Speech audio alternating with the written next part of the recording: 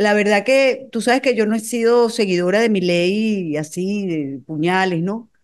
Pero me pareció de sumo interés, me llamó poderosamente la atención además la, timidez de los aplausos al final. Este, claro, eh, no les gustaría lo que estaban allí. Pero sin duda alguna lo que ha dicho alguna prensa es que fue el hombre que más llamó la atención. Ahí no llamó la atención más nadie.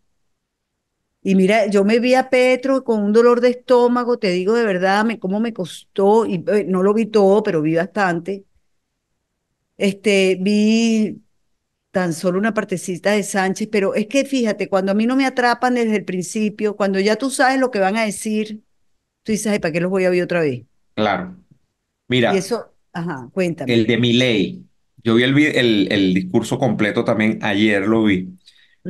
Y te voy a decir que en una parte yo siento que estaba como muy, como muy académico, ¿no? O sea, claro, Milei tiene un discurso, es, no es primera vez, hay que decirlo. Yo he escuchado a Milei en ocasiones anteriores y cuando Milei trata de presentar qué es lo que él quiere hacer, fíjate que le echa toda esa historia, ¿no? Que es la historia de básicamente cómo la humanidad, hasta un punto dado de su historia, no había aplicado pues un sistema donde se privilegiara el capitalismo y tal. Y entonces él Bueno, es que no dice, eh, existía ni siquiera. no existía, correcto. Es- Entonces él dice, cuando arranca en el siglo tal eh, el sistema capitalista, empiezan las mejoras en las condiciones de vida promedio de toda la humanidad y tal. Entonces, comienza a echar esa historia.